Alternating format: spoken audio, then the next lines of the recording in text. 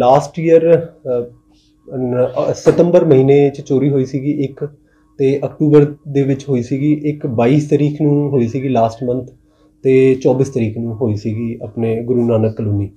ਇਹ ਚਾਰ ਚੋਰੀ ਆਪਾਂ ਟਰੇਸ ਕੀਤੀ ਹੈ ਤਿੰਨ ਬੰਦੇ ਆਪਾਂ ਫੜੇ ਹੈ ਇੱਕ ਹੈ ਸ਼ਰੀਫ, ਜਿਹੜਾ ਕੰਡਿਆਲ ਪਿੰਡ ਦਾ ਹੈ। ਸੁਖਦੀਪ ਸਿੰਘ, ਇਹ ਵੀ ਕੰਡਿਆਲ ਪਿੰਡ ਦਾ ਹੈ। ਦੂਜਾ ਕਾਲੇ ਨੰਗਲ ਦਾ ਰਾਣਾ ਹੈ।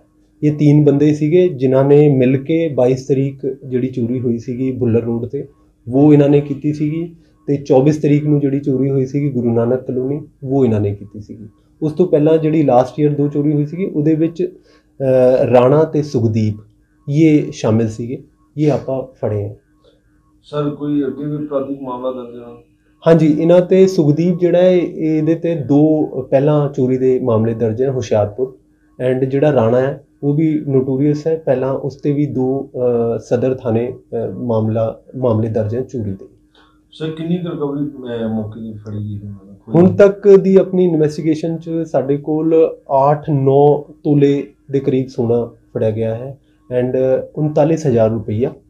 ਤੇ ਇੱਕ ਆਇਰਨ ਦੀ ਰੋਡ ਆਪਾਂ ਰਿਕਵਰ ਕੀਤੀ ਹੈ ਜਿਹਦੇ ਤੇ ਇਹ ਸਾਰਾ ਜਿਹੜਾ ਤਾਲਾ ਵਗੈਰਾ ਦਰਵਾਜ਼ਾ ਤੋੜਦੇ ਹੁੰਦੇ ਸੀਗੇ। ਅਪਰਾਧਿਕ ਮਾਮਲਾ ਤੁਸੀਂ ਦੱਸ ਰਹੇ ਹੋ ਦਰਜ ਕੋਈ ਇਹ ਅਪਰਾਧਿਕ ਮਾਮਲੇ ਤੋਂ ਇਲਾਵਾ ਕੋਈ ਕਤਲ ਕੁਤਲ ਦਾ ਮਾਮਲਾ ਤਾਂ ਨਹੀਂ ਦਰਜ ਨਹੀਂ ਨਹੀਂ ਕੋਈ ਨਹੀਂ ਜੀ ਇਹ ਇਕੱਲੇ ਚੋਰੀ ਸੀਗੇ ਐਂਡ ਚੋਰੀ ਅ, ਕਰਦੇ ਸੀਗੇ। ਠੀਕ ਕਿੱਦਾਂ ਇਹ ਸਾਰੇ? ਹਾਂਜੀ? ਕਿੱਦਾਂ ਇਹ ਚੋਰ ਫੜੇ ਜੇ ਕੋਈ? ਆਪਾਂ ਜੀ ਟਰੇਸ ਕਰ ਰਹੇ ਸੀਗੇ ਅ, ਚੌਕਸੀ ਕਾਫੀ ਬੜਾਈ ਸੀਗੀ ਨਾਕੇ ਵਗੈਰਾ ਲਾਏ ਸੀਗੇ ਬਾਕੀ ਐਸਐਚਓ ਸਾਹਿਬ ਨੇ ਵਧੀਆ ਆਪਣੇ ਸੋਰਸ ਐਕਟਿਵ ਕੀਤੇ ਸੀਗੇ ਉਸ ਕਰਕੇ ਆਪਾਂ ਫੜੇ ਚੋਰ।